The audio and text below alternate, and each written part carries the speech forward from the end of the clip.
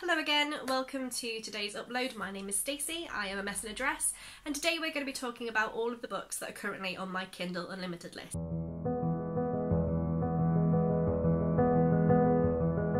Now, if you don't know what Kindle Unlimited is, basically it's a subscription service like Netflix or Now TV, but specifically for books. It's run through Amazon and it is a seven ninety nine a month. I want to say that is Great British pounds. I wouldn't have a clue what it is in other countries. Basically, it's run through Amazon and they have a series of books which are eligible for Kindle Unlimited, and you can pick and choose which ones you want to read. You can have 10 books in your library at any one given time, and once you've read it, you just return it and then you pick another one. For a really, really long time, I personally would only have Kindle Unlimited if it was on offer, so you sometimes get a three months for 99p or something along those lines. And then it suddenly occurred to me that I get so much use out of my Kindle Unlimited subscription. I can read anything from 20 to 30 books a month. I absolutely rip through them and I get to try new things. They're all different genres, they're all different kind of styles of book. I obviously mainly go for romance, but there's other things on there as well. It's a great chance to try new authors that maybe you don't know about and you wouldn't necessarily risk buying a book if you had to spend money on it. And for me, I realised that it is absolutely great value for money. I more than get my money's worth out of my subscription, and now I don't think I could be without it. So let's get down to what I currently have on my Kindle. So first up is a book that I mentioned in my December roundup video and that is With This Kiss. This is an anthology of books so it's actually got, I can't remember exactly how many, it's maybe eight, maybe nine and they're all full length novels. They're the first in their respective series, and I'm loving it so far. I've read three or four of them so far, and it's really great. And to say that I've paid absolutely nothing for it just blows my mind. It's also through this book that I read my first Kerrigan Byrne novel, which started a whole new obsession for me. I absolutely love them, and so I'm very, very pleased I picked this book up. So the second book on my list is Wicked's Scandal by Kathleen Ayers, and I actually read this book earlier today, but I'm not going to talk about that now because I'm going to save that until my January roundup. I love historical romances, and I must admit that the kind of genre I find the most hit and miss on Kindle Unlimited. Some of them I absolutely adore, and some I'm not so keen on. This one I absolutely loved, and I think there are loads of her books that are on Kindle Unlimited, so I will be binging my way through all of those in the next month. Prepare to hear a lot about that later. So next up we have Mr. Grumpy Boss by Lindsay Hart. I mean what a title is that? And that's very much the kind of books I'll usually read on Kindle Unlimited. They're very tongue-in-cheek, they're a bit silly, and they're usually very sexy and lots of fun. I'm pretty sure I've read something by Lindsay Hart before, although I can't think what it was, so I'm going to have to go back and check her kind of um, back catalogue to see what that was.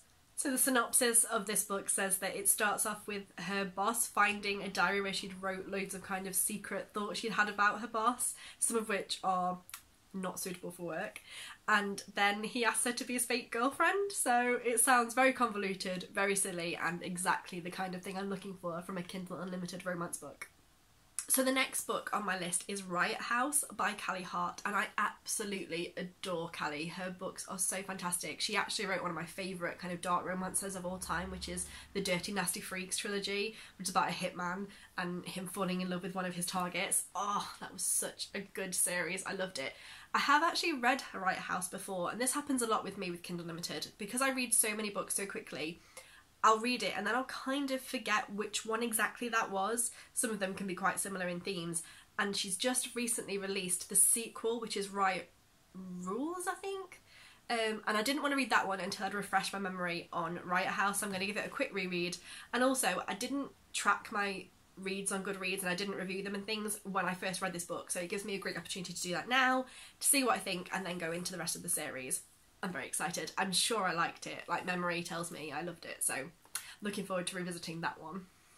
Next up we have My Cover Model by R.L. Kenderson and this one the synopsis says is about a romance author who falls in love or is attracted to the cover model for her books. It sounds so interesting. I can't wait to get stuck in. I'm fascinated to see where that story's going to go and I mean, being about a romance author, you've got to hope it's going to be a bit steamy. Okay, the next book on my list is actually another one that I've read before but can't really remember, and it's Dear Ava by Ilsa Madden Mills. I saw this featured on somebody's booktube, I really can't remember who it is, I'm sorry, um, and I saw a few people talking about it and I thought, I'm sure I've read that one and I'm sure I liked it, but I don't remember it very well. I know I've read a lot of Ilsa Madden Mills's books before, and I've liked all of them. I find them really kind of a good combination of angsty without being too down. I don't want to be dragged down too much when I'm reading a romance novel, and they all have good endings that I enjoyed. So I thought, why not read it again, and then I can track it and record it and review it and actually see what I really thought of it. So next up we have Little Dove by Layla Frost, and this one I'm pretty sure I saw on Crystal's Bookish Life's YouTube. I find so many recommendations on her channel, it's not even funny. And this one sounds like it's a bit of a dark romance. I seem to remember she said there was an age gap element to it and maybe a captor captive element to it. I can't remember. Anyway, it sounds right on my street, exactly the kind of thing I enjoy reading, and I am very much looking forward to get started on that one. Kind of along a similar theme is The Villain by LJ Shen, and this one, for reading the synopsis, is a little bit vague.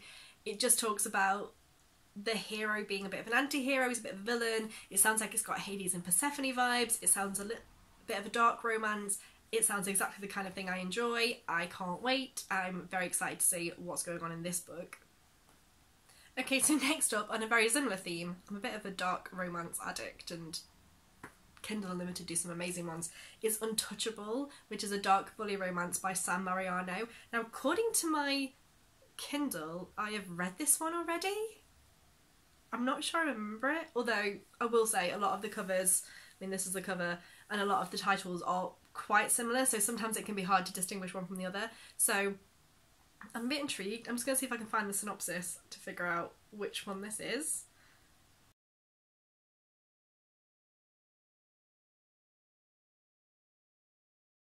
So it sounds like it's a high school bully romance. Um, it features a star quarterback who's a bit of an asshole lot of an asshole and the girl who stands up to him. It has a huge content warning on it. It talks about how there are loads of triggers and things that people will find disturbing and not to read it if you have a sensitive disposition. I'm not, doesn't bother me at all. Um, I can't remember which one it is. So now I have to reread it, like immediately, and find out which one it is so I can come back and tell you. I went through a phase a while ago where I read an awful lot of bully high school romances, and I'd, I'd be lying if I didn't say a lot of them blended together. So I'll be back and tell you which one it is when I can remember. And then finally, I was ridiculously excited to discover that some of Kerrigan Byrne's books are on Kindle Unlimited. This never happens. You never get actually kind of popular, well known authors on Kindle Unlimited. And that's probably being massively unfair because I'm sure there are loads, but I never ever get authors that I kind of go looking for on Kindle Unlimited. This one I'm ridiculously excited about. So it's Courting Trouble, which is the second in the Goode Girls book, which is the one that follows Seducing a Stranger, which I absolutely adored. So I cannot wait to see how good number two is. And it's on Kindle Unlimited, so I get to read it for nothing. Don't get me wrong, I keep an Amazon wishlist of Kindle Unlimited books, which I really, really enjoyed, which I do plan to go out and buy and own because I want to be able to reread them time and time again. I have no doubt this is going to end up on that list. I have no doubt that by the end of 2021, I'm going to have every single Kerrigan Byrne book. Uh, she may have to have her own shelf in my room, if I'm honest. I may have to get her a space, clear out some room for her. But still, the fact that I get to read it now without even having to wait for it to be delivered, so exciting. Love it. And there you have it, that is all the books currently on my Kindle Unlimited list. I have got some serious reading to do in January, I'm very excited. I've just recently got really back into reading them again I've been whipping through them. I've read like three books today, I think.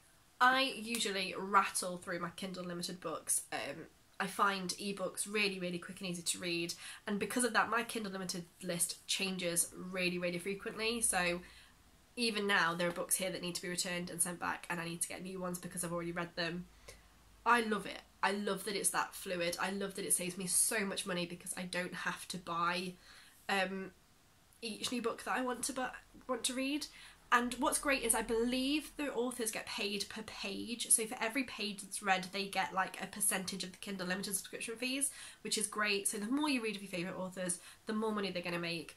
And if you love reading, if you read a lot, and if you are open to trying new things and trying new authors, then I really, really, really recommend you give Kindle Unlimited a go. This is not sponsored, this is just me, an avid reader who uses it all the freaking time. I'm off to go and read some of these books now, especially the ones that I can't remember which ones they are, and I'll be back really soon with another video. Thank you very much for watching. Bye!